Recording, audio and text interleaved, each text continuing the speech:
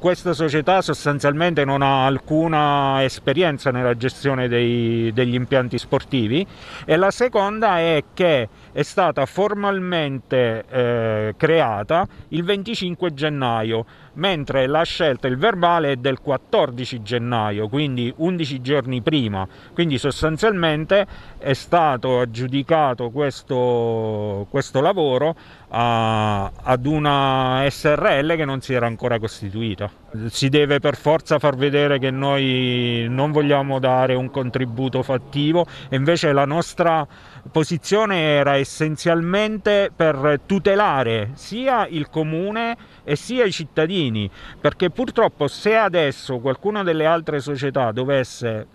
opporre una resistenza, eh, significherebbe che questi campi sportivi purtroppo eh, verranno realizzati con, inf- con, tantissimo ritardo.